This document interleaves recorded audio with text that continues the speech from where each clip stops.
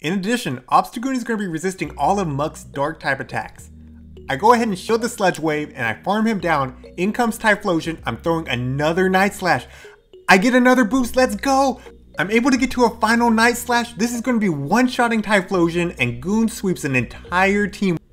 What's going on guys? Chillis FM here and today I'm featuring the one, the only, the Goon Squad.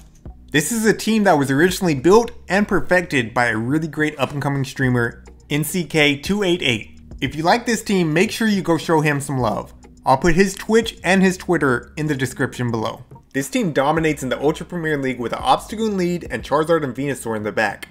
Before we get into the battles, I just wanted to take a second to say thank you to all my viewers. We recently hit 100 subscribers on YouTube and it's been a blast. Thank you to any of you that have watched any of my videos, liked any of my videos, commented on any of my videos, and especially those of you that have subscribed to my channel. You the real MVPs. Finally, I wanted to give a shout out to Homeslice Henry and Shrady.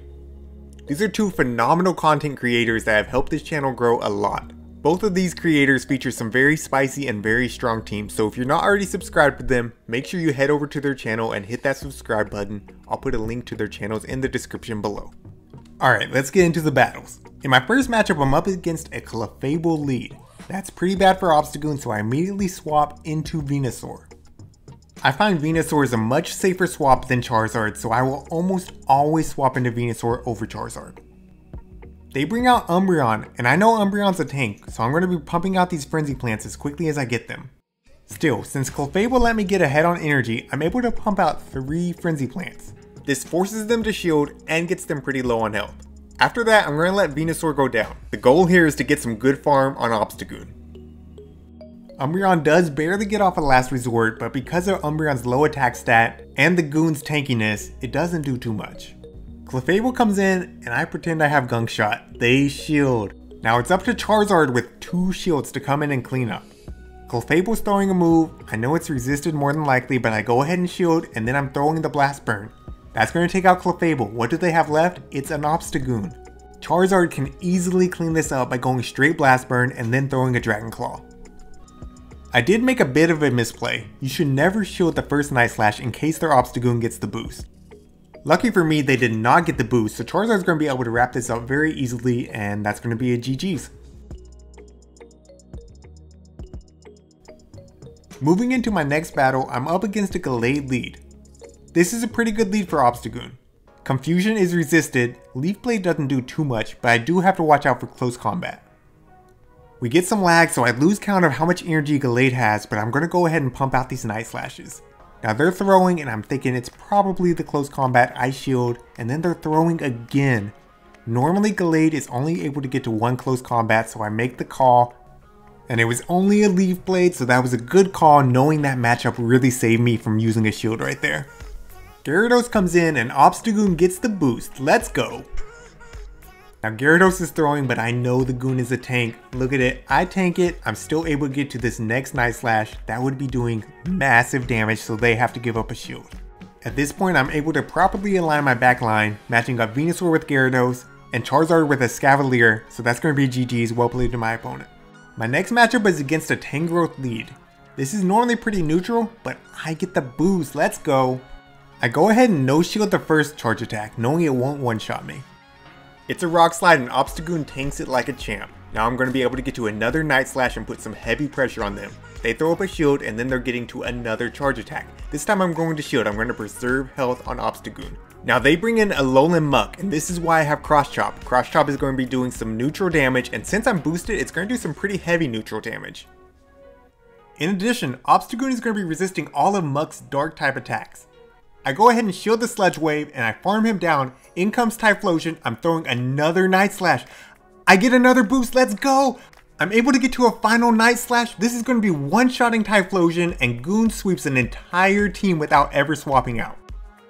So there it is. Goon is very scary if you get that boost on the first Night Slash and they don't have a hard counter for it. Moving to the next matchup, I'm up against a Dragonite lead. This is a surprisingly good lead for the Goon. You win this in the one shield. You can eat one Dragon Claw and shield the next one. You just have to watch out for the big move, um, such as Outrage, but as long as they're throwing Dragon Claws, you win this. So there it is, I shield and then I'm going to be able to farm down and have energy for whatever comes in next. They bring in Venusaur, so I'm going straight Night Slash. I'm not expecting too much, but at least I get some chip damage on them. Now I'm able to align Charizard with their Venusaur. This is great. I'm going to go ahead and eat the Sludge Bomb. I don't want to be down two shields. They bring in Empoleon. I answer with Venusaur and they're throwing a move. I know I can tank one Drill Peck, so I let it go through and then I'm going to be spamming out these Frenzy Plants. I expect to get both of his shields off pretty quickly here. One shield's gone, I'm throwing the second Frenzy Plant, let's see, does he give me the other shield? Yes, I get the second shield. Now I'm actually going to let Venusaur go down. Even though Charizard is very low, I'm at the Blast Burn and I know Venusaur can't do anything with the shield still up. They come in, they realize there's no farming me down, and they quit. In the next battle, I'm up against a May 23. This battler was featured in J Farm's recent video featuring his level 50 Skarmory. However, I hadn't seen that video at this time, so I had no clue what he might be running. Still, Skarmory is a good lead for Obstagoon as long as I don't get hit by a Brave Bird. I'm spamming out Night Slashes and I get the boost. Now I can shield whatever he throws and probably farm down. I'm farming him down, but he does get to a move. I'm confident he's not the Brave Bird here. I'm correct. I farm him completely down and I have energy for whatever comes in next. They bring in Swampert. I'm going to be able to fire out double Night Slashes very quickly. He eats the first one. Let's see if he shields the second. Yes, I get the shield. Now we're even on shields and his Swampert is very, very low on health. I bring in Venusaur and they switch to Gallade. Even though these Confusions chunk, I want to go ahead and throw a Frenzy Plant to get that last shield. I get it and I bring in Charizard. Now I can go straight for the Blast Burn before they even throw a move at me. That's going to be taking out Gallade and then Swampert's still left. I'm going to let Swampert take out Charizard, keep my shield and just farm this thing down. That's going to be a GG's. So that battle closed out a 5-0 for me. In full disclosure, not all of these battles are in order because I wanted to show a variety of different leads and how to handle them with this team. Moving into the next matchup, I'm up against a little bit of a tough lead. It's a Venusaur. I always elect to go ahead and swap into my Venusaur and do the mirror match and see if they swap out. This opponent let me farm a little bit and then they swapped into Gallade. I'm going to be able to get off both of their shields before Venusaur goes down. Since Gallade has a lot of energy, I'm going to bring in Charizard. Charizard resists both Leaf Blade and Close Combat. If they throw Close Combat first, they're going to be easier to farm down, but they go Leaf Blade first. I can safely shield the second close combat and then throw this Dragon Claw. This takes them out. Let's see, do they come back in with Venusaur? I don't think so. What do they have left? They have a Dragonite. I'm able to get to this Dragon Claw very quickly. That's going to do a lot of damage and then I switch into Obstagoon. Obstagoon is going to be throwing these Night Slashes at Venusaur. Hopefully I can get the boost. That would help a lot, but regardless, I do have a shield advantage here. I eat the first Frenzy Plant and I'm spamming out another Night Slash. Let's see, do I get the boost? No, no boost, that's okay. Now Venusaur is throwing again, but I'm gonna go down. I know I can farm up some energy and have this Dragon Claw ready to go when Dragonite comes back in. Here they are, they're back in, I'm there, all I gotta do is use this last shield and throw this Dragon Claw and that's gonna be a GG's well played to my opponent. My next opponent is Spring Water, but they bring a fire type lead. They bring Charizard. This is a neutral lead, but I do have to properly shield the Blast Burn to win this. I'm going to be pumping out these Night Slashes, hoping for the boost, but if I don't get it, that's still okay. Now they're throwing. I think it's the Dragon Claw. No, it's the Blast Burn. That hurts a lot. I'm still able to get to this Night Slash. That's going to do some good damage and get them pretty low, and lucky for me, they dump their energy. Now I'm going to be able to come in with Charizard and just farm their Charizard down. There's the farm down. What do they have next? They bring in a Shadow Swampert. That's terrible, but I'm going to go ahead and bait and see if I can get a shield. Yes, I get the shield and then I'm able to swap into Venusaur. They have the Venusaur mirror. Now I have to play some mind games. I know it's probably going to be a sludge Bomb. I go ahead and throw up the first shield. I'm throwing out my sludge Bomb, no shield. This is great. Now, they're not throwing and I'm going to bait? No, I'm going to go straight for it. They actually go down. I cannot believe it. I almost always bait in that situation, but it paid off just to go for it that time. In my next battle, I'm up against an Escavalier lead. Their counters are going to be doing double super effective damage to the Goon, but I can't swap out. Venusaur is not a counter for Escavalier, only Charizard is. I'm definitely not wasting a shield, so I just go down and I bring in Charizard. They bring in a Honchkrow. I don't want Honchkrow aligned with Venusaur, and I go ahead and eat their first attack. Holy moly, that Sky attack did so much, I was not expecting that. Still, I realize I have to get Honchkrow out of here. I go ahead and shield Charizard and then I'm going to throw Dragon Claw.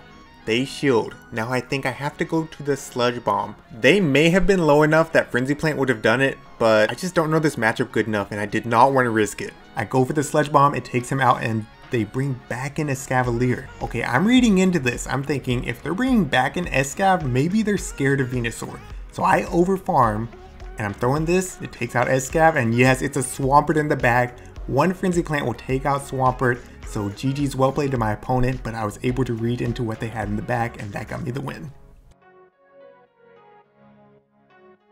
Up next, I have an Obstagoon mirror match. My Obstagoon isn't the best IV, so I've been going for Night Slash, though I am kinda torn because sometimes they don't shield.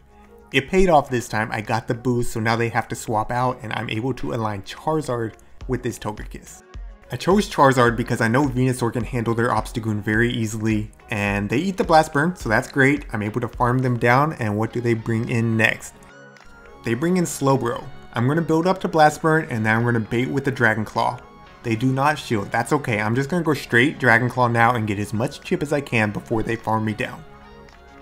There we go, I got them pretty low, I bring back in the Goon, and they bring in their Goon. Since I showed Night Slash before, I'm thinking maybe they won't shield the Cross Chop, no, they do show the cross chop, but that's okay. I bring in Venusaur and I want to farm up to almost two Frenzy Plants before I take out Goon. There it is, I'm one Vine Whip away. I'm going to throw this and take out Goon and then I'm going to be able to get to the next Frenzy Plant before the confusion damage registers. That's going to be a GG well played to my opponent. Moving into the final matchup, I'm up against an Ampharos lead. In this lead, you have to count 5 Volt switches and then call the Focus Blast. I throw Night Slash after 6 counters. This prevents them from getting any extra turns. They're at 5, I go ahead and shield. It was a bait, just a Thunder Punch, but that's okay. I'm at another Night Slash. They shield, and then I'm going to be able to get to a third Night Slash before they're able to throw again. They give me another shield and I get the boost. Now I know I'm going to have to shield and farm them down. It is the Focus Blast. They bring in Venusaur. I'm going to be able to hit it with a boosted Night Slash. Let's go. And then I swap into Charizard. I should be able to farm this down, though I am going to have to eat one Sludge Bomb. That's okay. So there's the farm down. I have a lot of energy and I'm expecting Ampharos to come back in since they have a Thunder Punch ready. They bring in Gallade. Okay, so I wasted a Dragon Claw, but that's okay. I'm still able to get to the Blast Burn. This will take out Gallade and then Ampharos will come back in. It's very, very low health. Nothing that Ampharos can do at this point, but they do take out Charizard with the Thunder Punch before they quit. Alright, so that's it for today. If you enjoyed this video, make sure you like and subscribe. Also, don't forget to head over to Twitch and give NCK288 a follow because this team is all his creation. I'm just here showing my viewers. Alright, this is ChillisFM wishing you good luck in your battles.